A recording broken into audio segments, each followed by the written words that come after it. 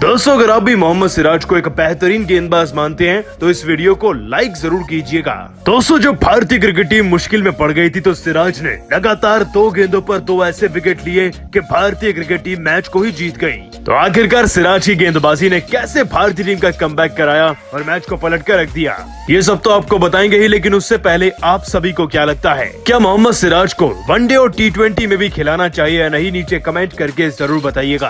दोस्तों, भारत और इंग्लैंड की टीम के बीच में चल रहे दूसरे टेस्ट मैच के आखिरी पलों में जब भारतीय क्रिकेट टीम की जीत में कांटा बन रहे थे इंग्लैंड के बल्लेबाज, और खास तौर पर इंग्लैंड के ऑलराउंडर्स तो मोहम्मद सिराज ने इंग्लैंड की टीम को आज ऐसा पाठ पढ़ा दिया जिसे वो ज़िंदगी भर याद रखने वाले हैं। क्योंकि आज सिराज की घातक गेंदबाजी ने पूरे मैच को दो गेंदों में पलट कर रख दिया। आपको बताए दोस्तों कि बुमराह और शमी ने तो एक रन पर दो विकेट लेकर इंग्लैंड की टीम की वैसे ही उम्मीदें खत्म कर दी थी। आगे चलकर बुमराह ने जॉरूड का विकेट लिया और ईशांत के नाम भी दो विकेट रहे।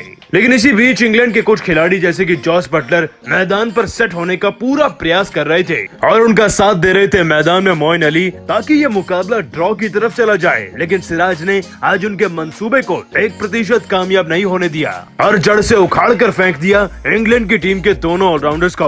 ये बात है दोस्तों पारी के उनतालीसवे ओवर की। दोस्तों पहली गेंद पर ओवर की मोइन अली को आउट करने के लिए सिराज ने खास रणनीति तैयार करी। उन्होंने गेंद तेज रफ्तार की तो डाली और ज़्यादा आउटसाइड ऑफ़ की तरफ़। ताकि बल्ला खोलना पड़ जाए मोइन अली को शॉट लगाने के लिए। और उसके बाद बिल्कुल वैसा ही हुआ। इस ओवर की पहली गेंद पर, जैसे ही मोइन अली बड़ा शॉट लगाने के चक्कर में अपना बल्ला खोल बैठे, गेंद उनके बल्ले का एज लेकर सीधा फ़र्स्ट स्लिप में तैनात खड़े कप्तान कोहली के हाथों में चली गई और दोस्तों, विराट कोहली ने भी एक शानदार कैच पकड़कर मोइन अली को पवेलियन में बिठा दिया।